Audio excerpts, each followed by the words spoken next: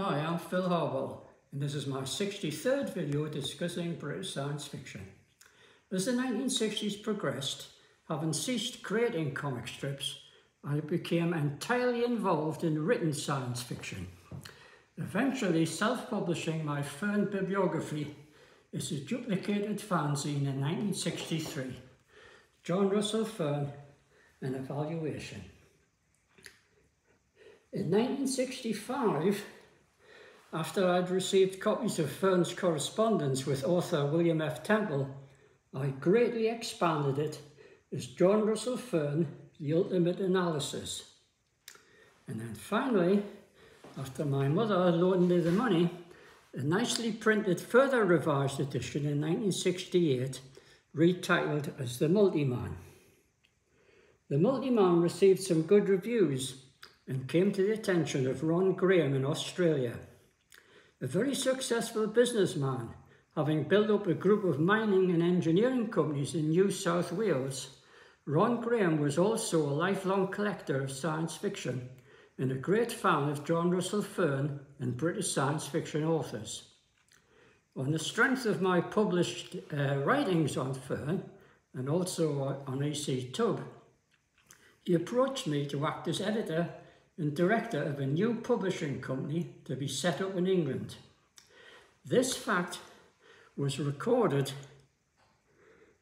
in Walter Gilling's magazine, Science Fantasy Review. Which you see here, bear with me.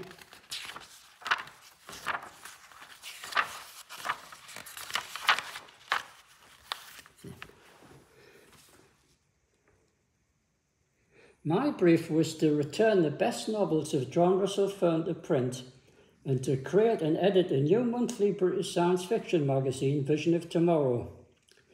The magazine was to publish new fiction only, of which up to 40% could be by Australian authors, 10% by European authors, but no stories at all by American authors, whom Graham had banned.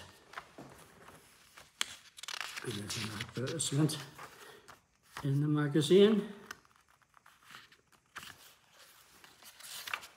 There we go, page.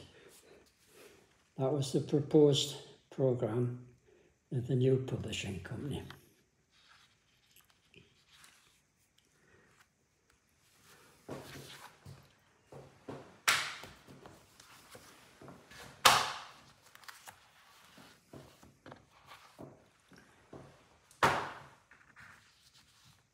and there is the, new magazine when it was published, Vision of Tomorrow.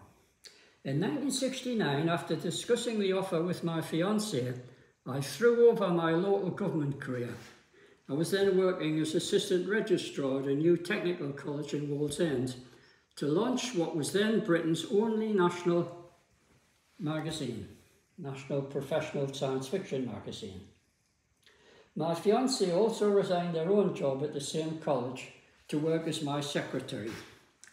Vision's lifetime, July 1969 to September 1970, extended only over 12 issues before I resigned in unhappy circumstances. Because it pains me so much, I don't propose to say much more about the magazine in these videos and why it ended.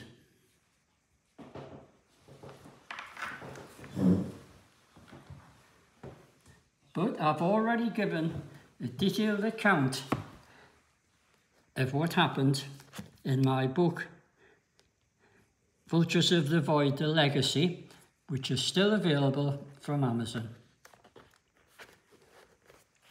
There's a full, full detailed account of the trials and tribulations of the magazine and why I resigned and why the magazine came to an end.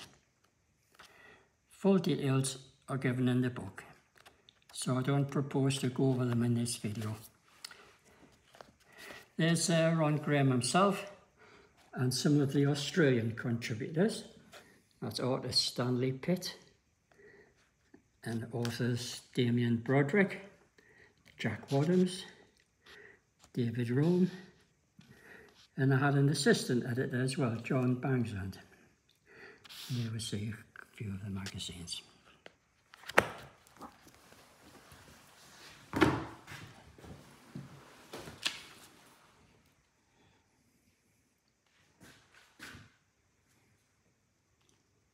Also, I gave a full account in Mike Ashley's book, Transformations, the story of the science fiction magazines from 1950 to 1970. Mike printed extracts from a full memoir about the magazine. So all the details of the magazine's history are in that book.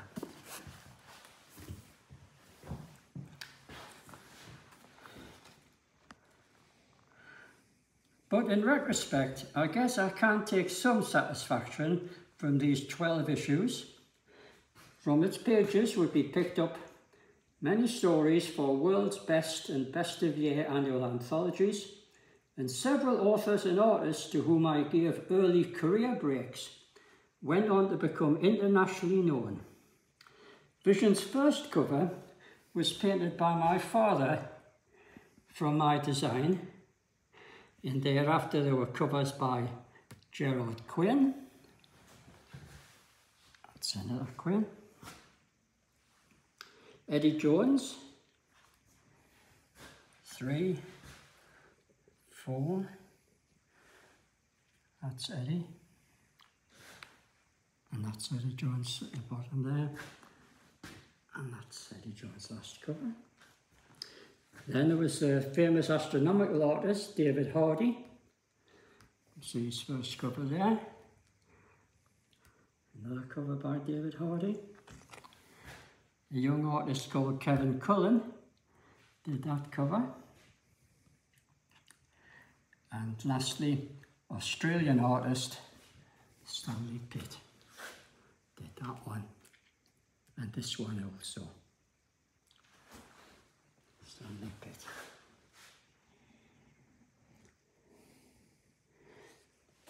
Now, Vision's authors included uh, William F. Temple, Philip E. High, and Sidney J. Bounds.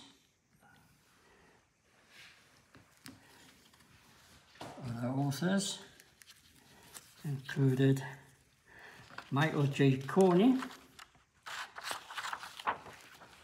Michael J. Coney.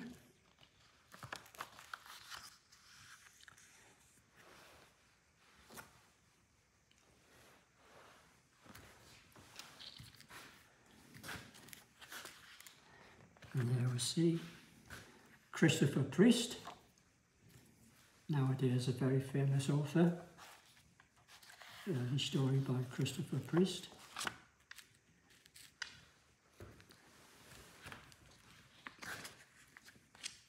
see.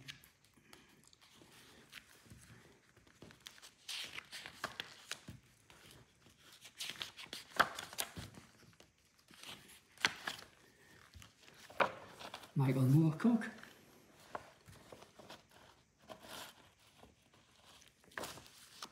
That was his story on the cover. Another British author was Bob Shaw well-known author nowadays.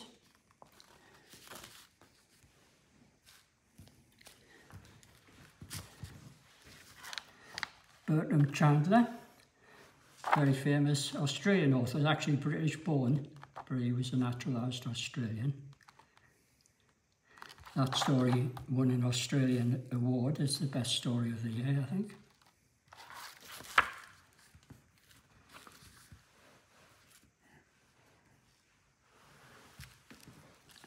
So we have Lee Harding, leading Australian contributor.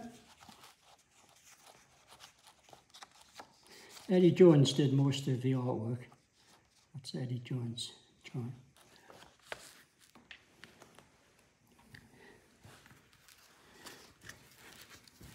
John Brunner, another well-known author.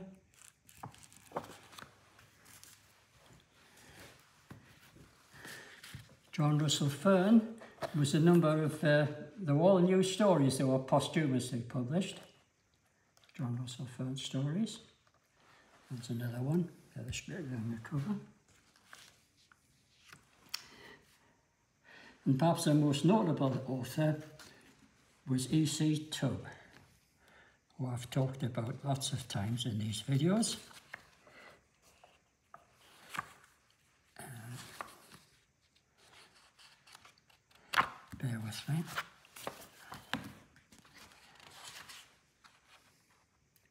Page 35.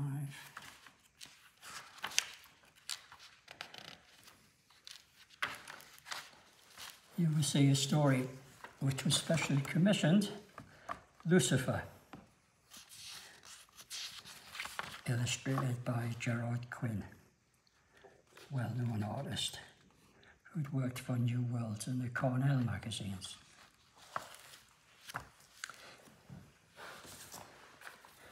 Now, Lucifer is a very noted story.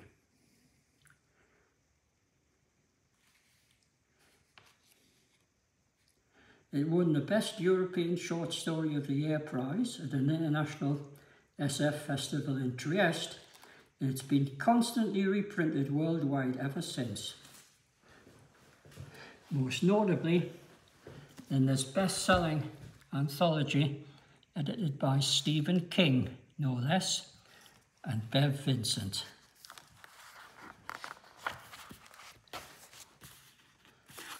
There's Stephen King's introduction to the story, talking about Tubb. And this story is the basis for a new $9 million American film starring Morgan Freeman, which is coming out this autumn. So that's something to watch out for. Another noted feature of the magazine was a regular series, The Impatient Dreamers, which told the story the history of British science fiction with the famous, by the famous editors Walter Gillings, pioneering editor Walter Gillings. No, vintage magazines there, which he's discussing. And also the other famous British editor, pioneering editor, John Carnell. telling the inside story of the birth of New Worlds magazine.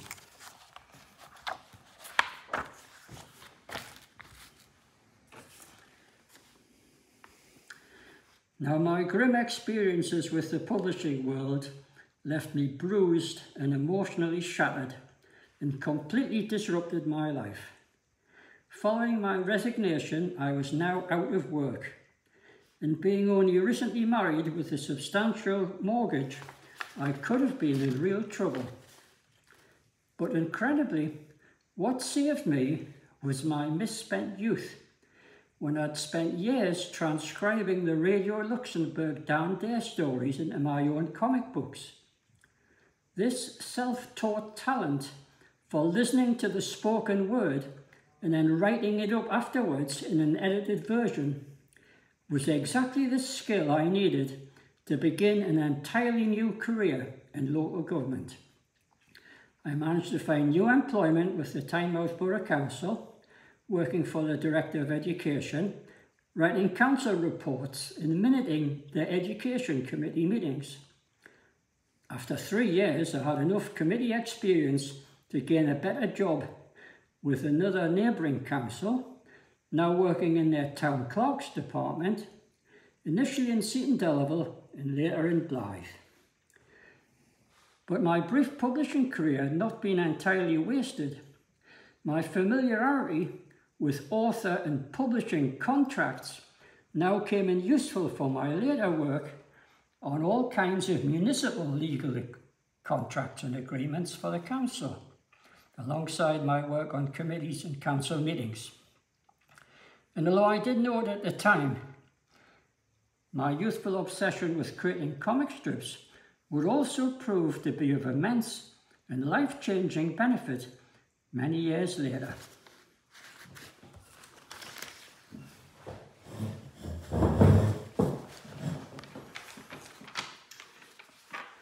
Now over here we see that from 1974, outside of my full-time job with the council, I also acted as the literary agent for many years for anthologist Mike Ashley, whose very first series, The History of the Science Fiction magazine, was sold in New English Library Limited, a four book series, and then in translation in America, and in Spain, and in Italy.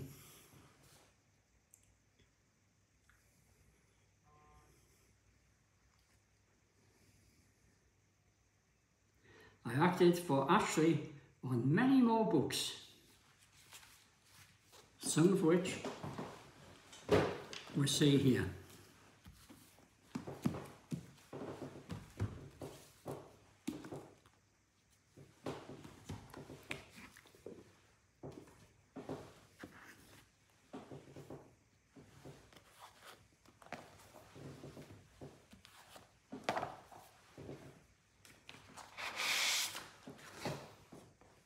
Lots more anthologies I did with Mike Ashley, and I would have done many more, but unfortunately, my wife fell seriously ill and was hospitalised. She very nearly died. Our daughter had been born in 1972, and I was now virtually a single parent. With an increasingly demanding job in local government I had to give up all my outside aging activities, with the sole exception of John Russell Fearn.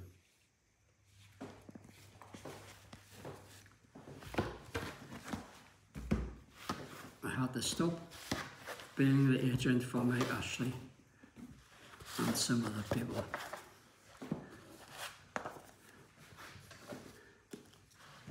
I was just able now to concentrate entirely on John Russell Fearn.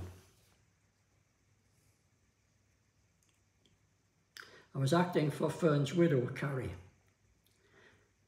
Numerous novels and stories reprinted, many in European translations.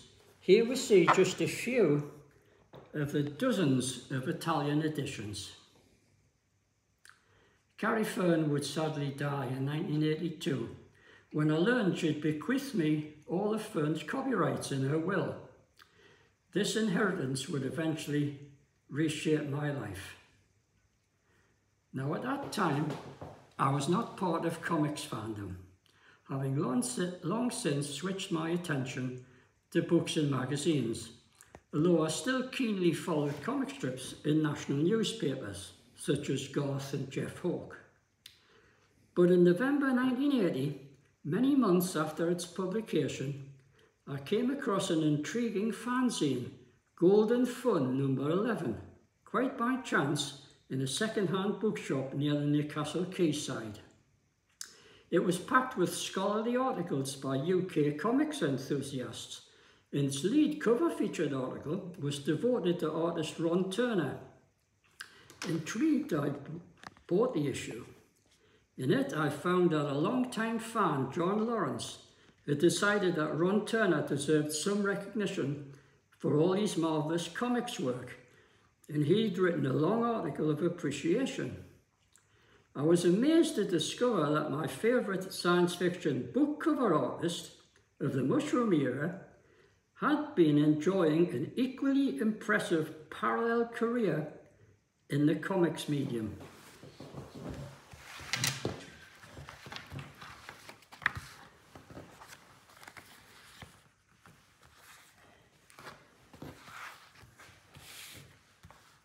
It's just a few of the hundreds of comics and you can see the standard of his artwork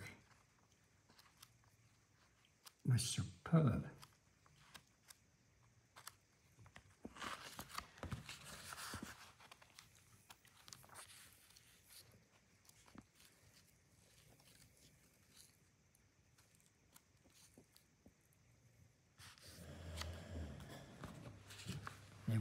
Comics. This was Space Comics, Rick Random, classic science fiction.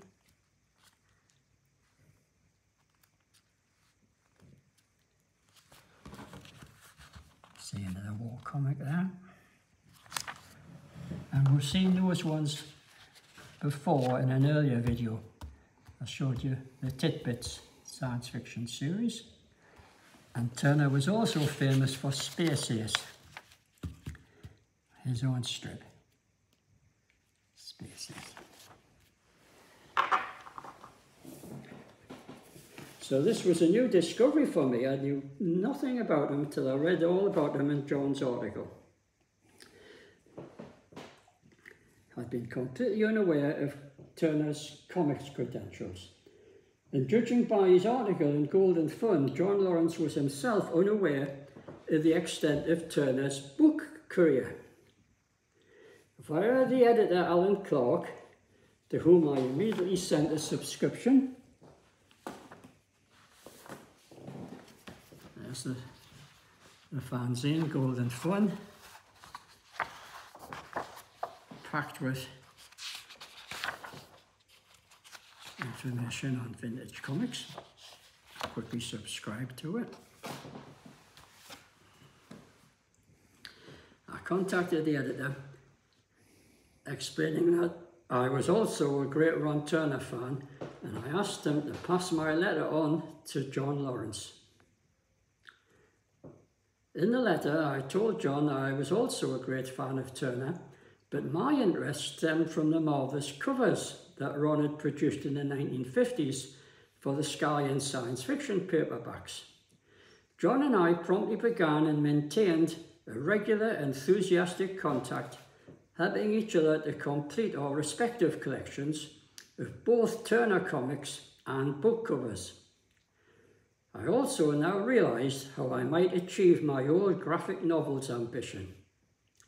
I could once again write graphic novel versions of Fearn's best stories, only this time the artwork would be by Turner, thus ensuring the highest professional standards that I could never hope to attain myself.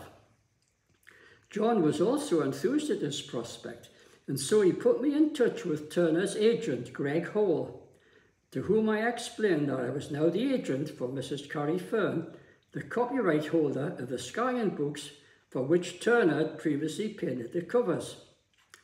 I proposed that I would write scripts from Fearn's books and magazine stories for Turner to illustrate in comic book form, which Hall could then agent.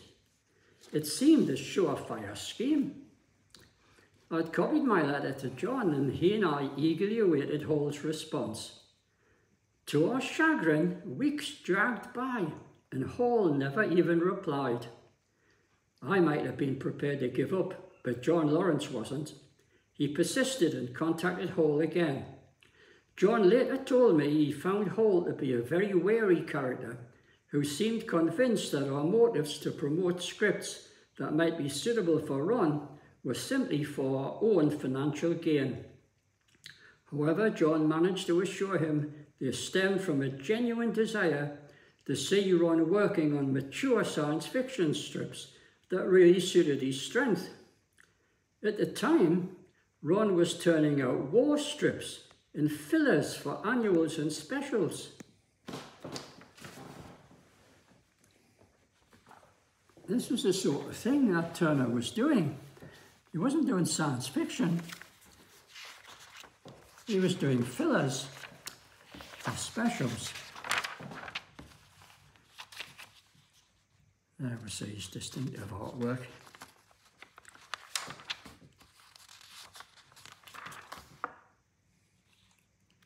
But he wasn't doing any science fiction.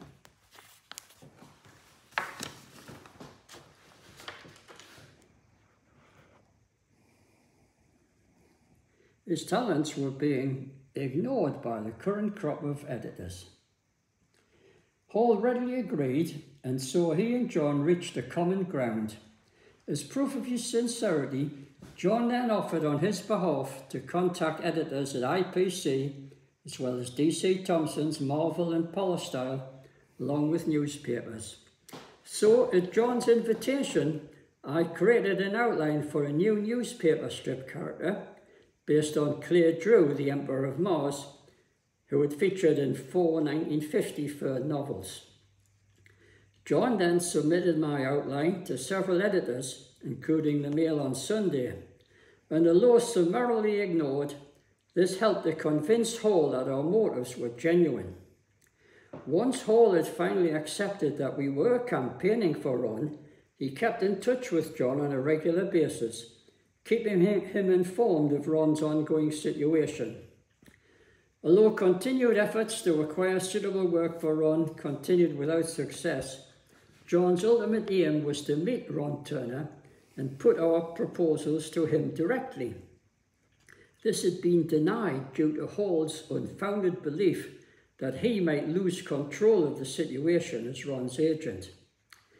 It was only when Hall began suffering from severe ill health in 1984 and chose to retire, prompting Ron Turner to follow him into retirement, that John was finally allowed to meet Turner. He offered to act as Ron's agent, promising him a continuous stream of work. John explained to Turner that top quality scripts for new comic strips would be assured as I now held the copyrights on all Fearn's stories, these having been bequeathed to me in Mrs. Fearn's 1982 will. The prospect of working at his own pace and illustrating Fearn stories again appealed to Ron immensely, and so he appointed John as his new agent. John agreed a very reasonable professional page rate for Turner's artwork, the cost of which we agreed to split between us. We also agreed to form a partnership, GRF Enterprises, to help bring it about. But it looked as if we would need to self-publish in order to get started. Our comic could feature one-off stories selected from Fearn's many short stories and novelettes. The first story I scripted was an adaptation of Whispering Satellite, a short story that had appeared in Astounding Stories in January 1938. Whilst John liked the story, he suggested that I should consider creating a new continuing character modelled on Rick Random, the super detective strip for which Turner was best known.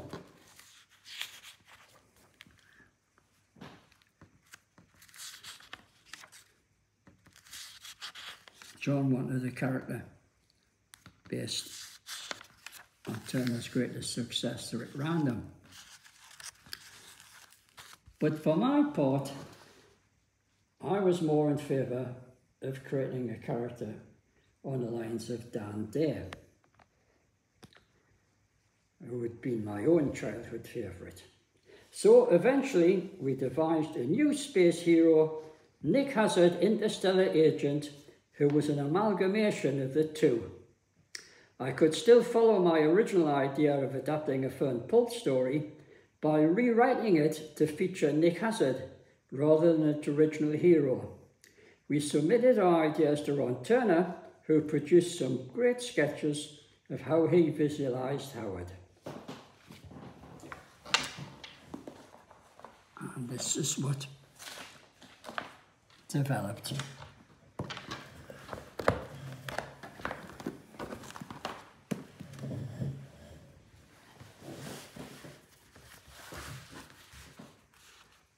Nick Hazard is created by Ron Turner.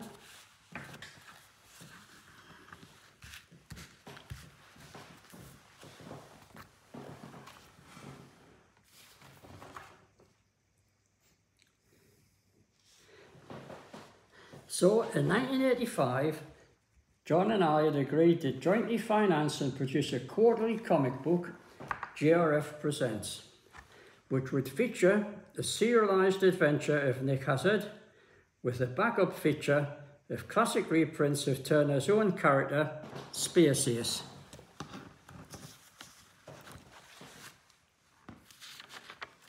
Classic reprints of the Ace stories from the 1950s.